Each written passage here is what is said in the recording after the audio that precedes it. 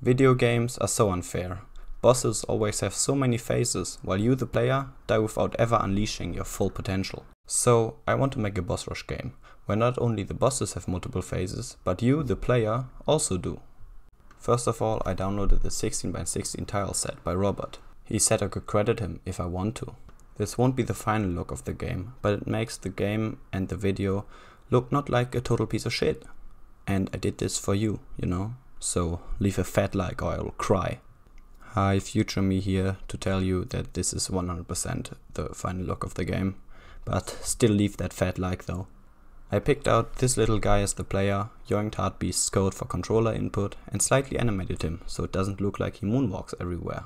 I also wrote some code to make this little boy always attack in the direction of the boss, which for now is set to the middle of the screen. I did this by making the sword always look in a given direction while being invisible. This changes when you attack. Nerd! Yeah, right, only losers care about programming. You loser. Now, what is a boss rush game without bosses?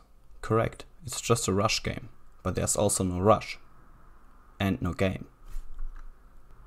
So, as the first boss, I wanted to make a mage. I gave him the mission to always stay a healthy one and a half meters away from the player, as well as the mission to run to the center of the screen if possible, so the player can't bully him off the screen. Then I told him to throw some fireballs at the player, but he was a little confused about how to do that. But in the end, he understood. Then I made the fireballs brutally murder the player.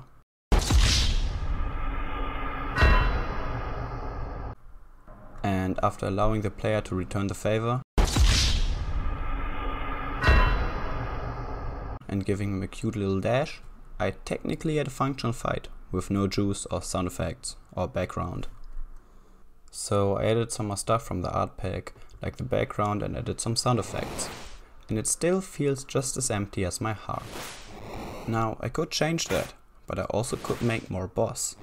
So I made more boss. The second phase of the mage also shoots fireballs, but these aim at you every time the animation is finished. He also now yeets some balls to the torches, which somehow makes lasers because why not?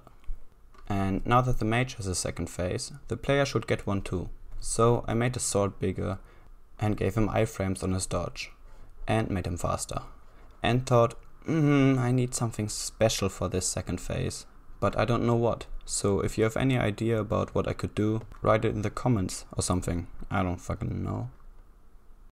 While thinking about the third phase for the boss, I decided to add tiny lasers before the actual lasers of phase 2, so you know where they will do you an ouchie. Simply because I could take away these from the third phase, like taking assist wheels off a child's bike and watching it fall over.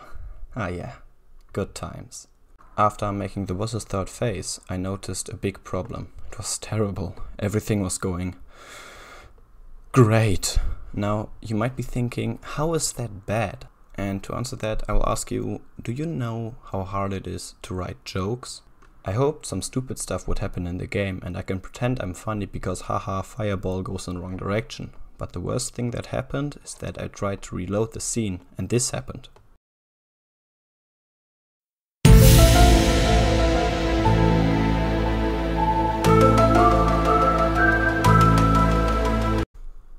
Do you know how desperate I am? I was going to write a joke about the fact that I almost said the player should get a phase 2 too, and that's just sad. Talking about player phases, we still need a third phase. I chose this little boy as the third phase, and then finally something stupid happened. There's a perfectly logical explanation for this, but I'm not gonna tell you. A magician never reveals his secrets. Anyway, my idea for the third phase is to give the player a ranged attack by allowing him to yeet swords. Without adding a cooldown, I got this, which looked kinda sick. But I can't have nice things, so I added a cooldown. And made him walk slower when attacking, so that's kinda cute. I also wanted to add an animation similar to the fireball explosion, when the swords hit something, but I don't know what.